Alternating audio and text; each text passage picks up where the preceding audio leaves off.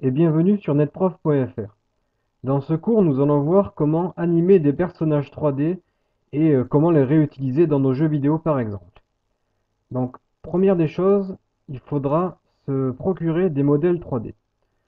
Donc, euh, si vous utilisez Unity, d'ailleurs, il y a des cours en ligne sur, euh, sur ce moteur de jeu, eh bien, vous avez dans l'onglet Windows le Asset Store, qui est un peu comme le le euh, Apple Store euh, de iTunes.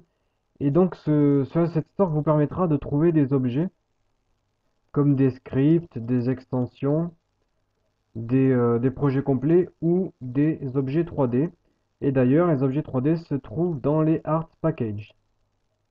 Vous arrivez sur une nouvelle fenêtre où il y a des packs à télécharger. Donc on va mettre on va trier les objets par prix, comme ça on aura les objets gratuits en premier euh, au début en fait. Et on voit qu'il y a des personnages 3D. Donc le Female Character Pack, c'est un pack contenant trois femmes 3D. Pareil pour les hommes, nous avons trois hommes en 3D ici. Euh, vous avez d'autres packs, hein, vous pouvez jeter un coup d'œil. Pour ma part, je vais utiliser le Male Character Pack ici que j'ai déjà téléchargé et que je vais importer à ma scène. Donc on va tout décocher, sauf euh, Karl. Karl qui est le premier personnage du pack. Donc vous avez trois personnages, on va en importer qu'un seul pour, le, pour cet exemple. Et une fois importé, vous avez le mâle character pack avec Karl. Ce qu'on fait, c'est qu'on fait clic droit Show in Explorer pour avoir notre personnage ainsi que euh, les textures allant avec ce personnage. Donc on va copier notre texture sur le bureau, on va copier notre personnage 3D sur le bureau et nous allons nous équiper des logiciels qui vont nous servir à animer nos personnages 3D. Donc vous allez sur internet. Premièrement, nous allons télécharger Anime Eaple, qui est un logiciel gratuit euh, d'animation 3D. Alors, premier lien dans la rubrique Download. Vous arrivez sur cette page et vous avez le logiciel.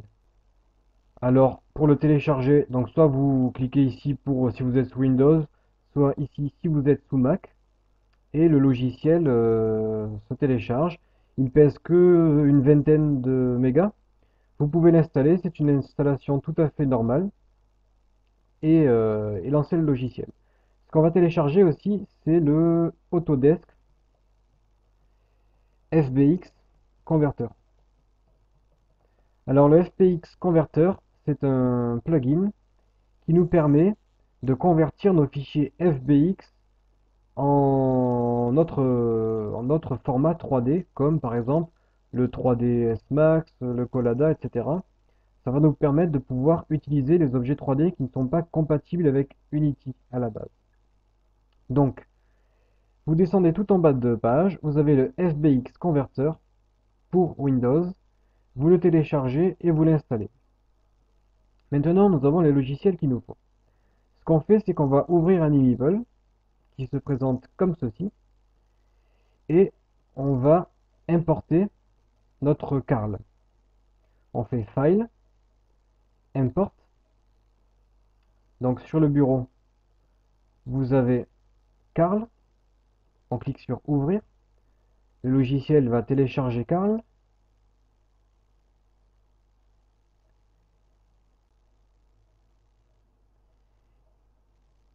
Et une fois importé, il y a plusieurs options à, réaliser. Donc, premièrement, vérifier d'avoir mis la texture de Karl à côté du personnage 3D pour pouvoir avoir le personnage texturé. Alors, aucun onglet ne nous intéresse vraiment à part le Bones, qui est en fait l'onglet qui nous permet d'assigner les os du personnage à chacune des parties du corps.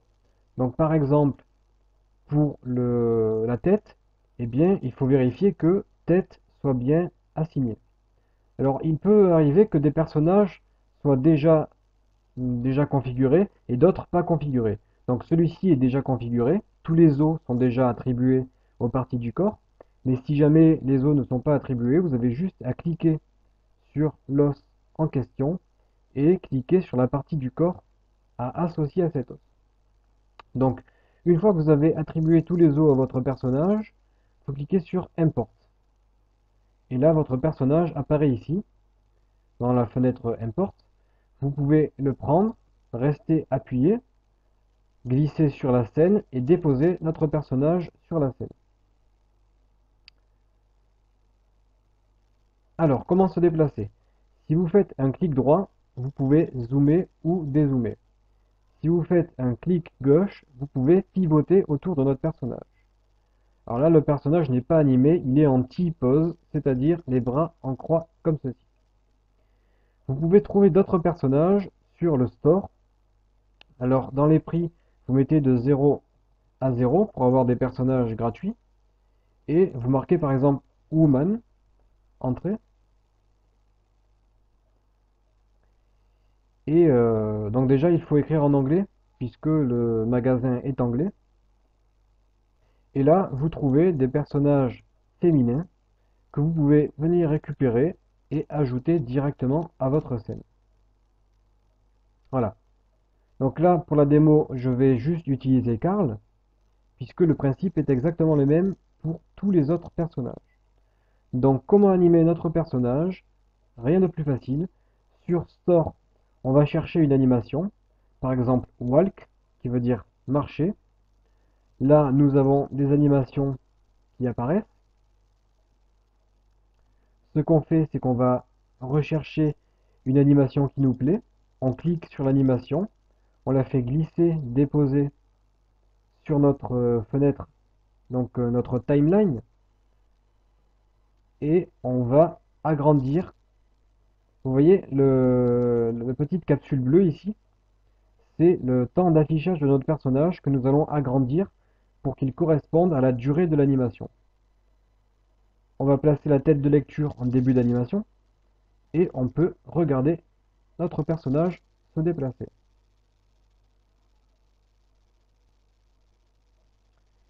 Et on voit que notre cher Carl est animé et c'est magique c'est impressionnant de voir avec la, simplicité avec laquelle on arrive à animer un personnage 3D aussi rapidement et aussi facilement. Alors, on va euh, apporter quelques petites modifications. On arrête l'animation. Et ce qu'on va faire, c'est qu'on va faire clic droit sur le personnage, Create et Treadmill. On va placer ce Treadmill ici et on va l'agrandir pour qu'il euh, ait la même taille que notre animation. Et ça nous permet simplement d'animer notre personnage sur place sans qu'il se déplace. Et c'est ce que nous voulons puisque euh, on n'a pas besoin de le voir se déplacer. On le fera se déplacer nous-mêmes dans Unity par exemple. Ensuite, on va découper l'animation puisqu'elle est un peu longue.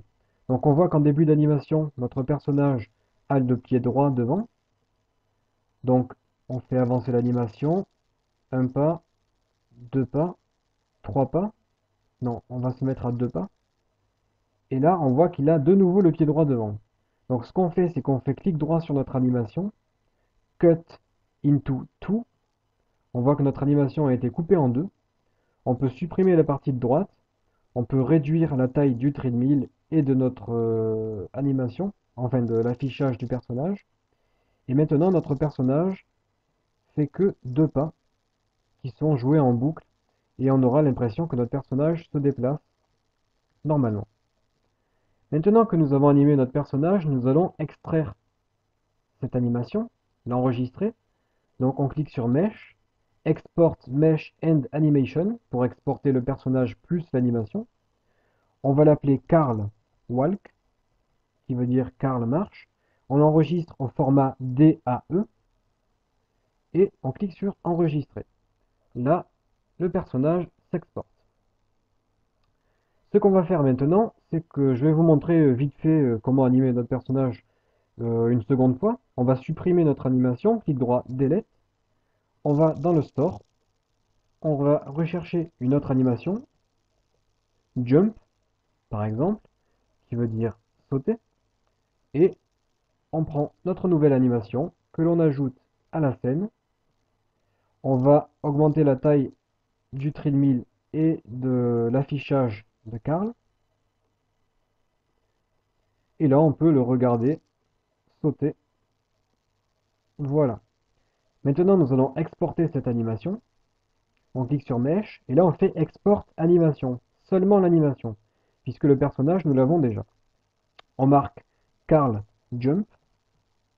On va l'enregistrer au format DAE, et on clique sur Enregistrer. On peut cliquer Animeeple. Donc là, on peut supprimer Voilà. Ah, j'ai oublié de vous parler de quelque chose. C'est que lorsqu'on enregistre notre personnage avec l'animation, eh bien nous avons une texture qui se crée. Donc là, c'est la texture du personnage. Dans le menu Edit de Animeeple, vous avez les settings, donc les options, et les options d'exportation. Et euh, je vous conseille de paramétrer l'export des textures au format PNG. Tout simplement parce que le format est meilleur. Par défaut, le format est le format TIFF.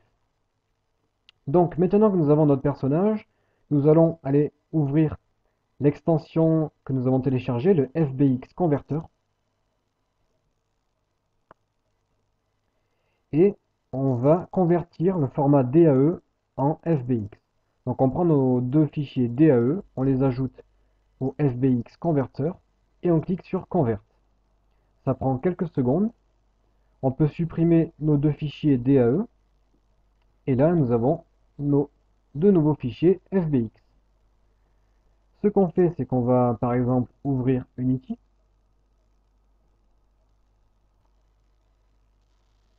On va créer, on va par exemple dans le Mal Character Pack importer Carl. On fait un glisser-déposer. Une fois que le personnage est importé, eh bien, on a le Carl Walk ici, que l'on peut faire glisser-déposer sur notre scène. Alors là, il est un peu petit, donc on peut euh, l'agrandir. 100, 100, 100. On va le mettre en face de la lumière. Et nous avons ajouté notre personnage 3D à la scène. Alors si on clique sur le personnage, on voit qu'il a l'animation de saut. On a aussi le Carl Jump. On fait un CTRL D pour dupliquer cette animation. Et là, on va déployer le menu Carl Jump 1, qui est la copie. Et nous avons l'animation Tech 1, que l'on va renommer en appuyant sur F2. Ah, excusez-moi. On ne peut pas renommer par défaut l'animation, mais si on clique sur animation, qu'on la duplique, à ce moment-là, on peut la renommer. Nous, on va l'appeler Jump. On va cliquer de nouveau sur Carl importer l'animation en la prenant et la faisant glisser-déposer ici. Et là, notre personnage a ces deux animations. Alors, il faut savoir que là, le problème, c'est que notre animation était un peu petite. Comme on a multiplié la taille de notre personnage par 100, il aurait fallu, ici dans l'animation, modifier le scale factor et le multiplier par 100, c'est-à-dire mettre 1. Et là, l'animation aurait eu la même taille que notre personnage. Donc on applique et là, le tour est joué. Donc ce qu'on va faire, c'est que ce cours est bientôt terminé, mais je vais vous montrer le résultat. On appuie sur Play. Et là, on voit que Carl marche. Alors l'animation s'arrête rapidement puisque l'animation est courte. Alors on peut par script euh, définir qu'elle se joue en boucle. On la regarde une nouvelle fois. Et si vous regardez dans, ma fenêtre de jeu ici, eh bien on voit que j'ai animé ce personnage aussi. Et celui-ci se déplace uniquement lorsqu'on appuie sur les flèches du clavier. Donc par script, on dit lorsqu'on appuie sur les flèches, on joue l'animation de marche. Lorsqu'on appuie sur espace, l'animation de saut. Et donc on peut se déplacer. Donc voilà à quoi ça sert d'animer des personnages 3D. Et vous avez vu, c'est extrêmement simple et extrêmement facile à réaliser. On a juste à trouver des modèles, les importer dans Animeeple, les animer, les exporter, ensuite les convertir en fichier FBX, et après, vous pouvez les ajouter à votre scène, simplement en les faisant glisser-déposer. Voilà, donc vous pouvez créer vos personnages 3D.